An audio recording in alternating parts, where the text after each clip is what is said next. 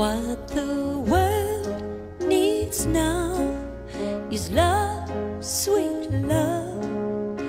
It's the only thing that there's just too little of.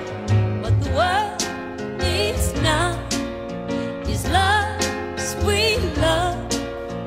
No, not just for some, but